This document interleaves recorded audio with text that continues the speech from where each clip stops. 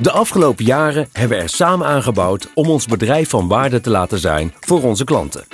We noemen onszelf dan ook met trots makers van waarde. Makers van waarde. En mijn waarde dan? Goed dat je erover begint. Daar willen we het nu precies over hebben. Want door jouw waarde te benutten kunnen we samen sterker worden. Dat betekent dat we gaan stoppen met de functioneringsgesprekken. We gaan echte gesprekken met je voeren. Gesprekken over jou, waar jouw talenten liggen, wat je sterke kanten zijn, waar je ambities liggen en waar je blij van wordt. Geen beoordelingsgesprek, maar een ontwikkelgesprek. Een gesprek waarin jij de ruimte krijgt om te laten zien wie je bent en wat jouw waarde is voor ons bedrijf. Maar ook wat je nodig hebt om je verder te kunnen ontwikkelen.